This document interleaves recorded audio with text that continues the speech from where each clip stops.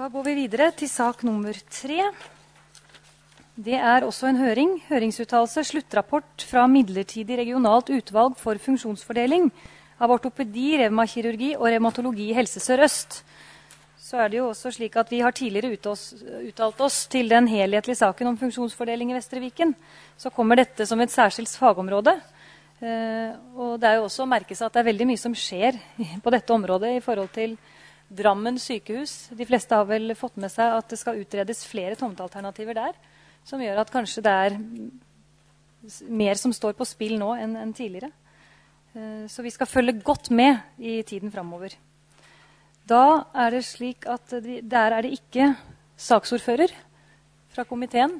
Men de som ønsker ordet til saken, kan vise det. Da var det Selmer, og deretter Christensen.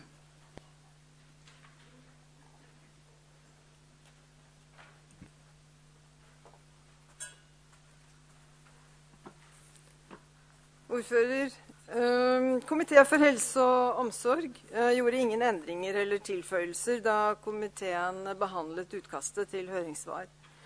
Og vi støtter så absolutt intensjonen om en strukturert eh, funksjonsfordeling for nettopp å sikre trygge tjenester. Og faglig sett og pasientsikkerhetsmessig er det vel ingen innvendinger eh, til utvalgets anbefalinger. Jeg kan imidlertid allikevel ikke fatte at det i fremtiden ikke vil være et stort nok pasientvolum til å kunne opprettholde tilbudene og tjenestene innenfor ortopedi, revmakirurgi og revmatologi eh, lidelser ved sykehusene både i Drammen og ved Martine Hansens hospital. Oppslaget om helseforsikring i dagens eh, Aftenposten nevner ortopedi og muskel- og skjelettlidelser som et av områdene hvor mange sykedager og sykepenger kunne vært spart ved bedre kapasitet i det offentlige. Og at helseforsikringene faktisk brukes nettopp på dette området for raskere behandling. Men skal ytterligere spesialisering gjøres, og kun én lokalisering, lokalisering velges, så undres jeg også over nødvendigheten av alle kriteriene som må være på plass for å tilfredsstille morgendagens uh, tilbud. Kompetanse innen de fleste områdene må selvsagt være tilgjengelig, men er det nødvendig med hele avdelinger lokalisert på stedet? Kriteriene er så omfattende at stedsvalget gir seg selv, og godt egnede og kompetente sykehus faller ut. Det kan i tillegg se ut som utvalget ikke ser på Martine Hansen og Bærum sykehus som én sykehusklynge. Og det er beklagelig, og det gir muligens et svekket bilde. I høringsuttalelsen angående strategiplan for Vestre Viken, som ble vedtatt i kommunestyret her den 6.12. i fjor, så ble uttalelsen fra Asker og Bærum kommuner forsterket nettopp på området innenfor muskel- og skjelettlidelser. Vår anbefaling var at ved å bruke Martine Hansens kompetanse i samspill med Bærum sykehus kunne man arbeide seg frem mot status som et nasjonalt senter for muskel- og skjelettlidelser. Det anså vi som et realistisk og spennende mål. Kompetansen er til stede ved Martine Hansens hospital. Erfaringen er der. Rutinene er der. Pasientene er der. Og Asker kommune mener at Martine Hansens hospital med en unik tverrfaglig tilnærming gjør sykehuset til et naturlig førstevalg.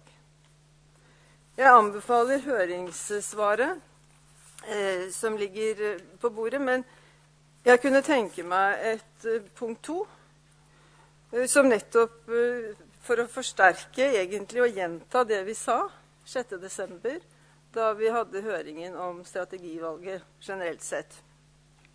Og da vil rett og slett punkt to være at Asker kommunestyre gjentar sin uttalelse fra 6.12.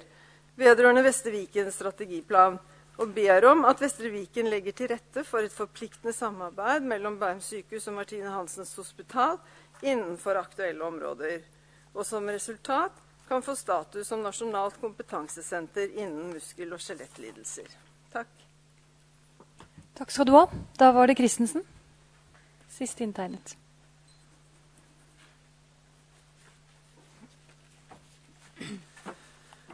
Ja, ordfører har eh, tre betraktninger i forhold til, til, saken. og Her er det jo for så vidt ingen uenighet. Det er vel mer å komme med noen betraktninger i forhold til viktigheten av dette området. Og Det ene går litt på en generell sak rundt dette med å få til en balanse mellom spesialisering og samlokalisering, sånn at du får altså kvalitet ut. Og Hvis du ser det sykehusområdet utover denne saken her, men som vi nå diskuterer til stadighet, så er de geografiske avstandene de er ikke enorme sammenlignet med andre deler av landet. og Pasientgrunnlaget er stort, og pasientgrunnlaget vokser. Så Sånn sett så eh, burde det være mulig da, å få til gode arbeidsfordelinger mellom de ulike enhetene. Det er en litt generell sak. En litt generell ting til som jeg syns er viktig å ta med seg, det er at uh, innenfor uh, ulike typer av fagfelt her, da, så skjer det en rivende utvikling, sånn at arbeidsmåten og prosessene man jobber på, kanskje noen ganger går raskere enn det man evner å organisere. Eh, for det er ofte struktur og organisering vi henger oss opp i, men det er ikke like godt at vi klarer å reflektere på måten man gjør det på. Det syns jeg òg man må ta med seg. Og så til det konkrete her, som går litt da på kapasiteten, som forrige var inne på. Eh, når det gjelder Martine Hansen, så er det klart her er det litt ulike eierformer, og det skaper litt sånne utfordringer. Men vi har vært tydelige på at innenfor dette området her, så må vi altså utnytte kapasiteten sånn at de som bor her, får den hjelpen de skal ha når de trenger den. Og vi har vært opptatt av at dette blir tatt inn i forhold til Bærum sykehus, at vi får til dette, og gjerne at vi òg har en ambisjon om å ta et nasjonalt ansvar på området.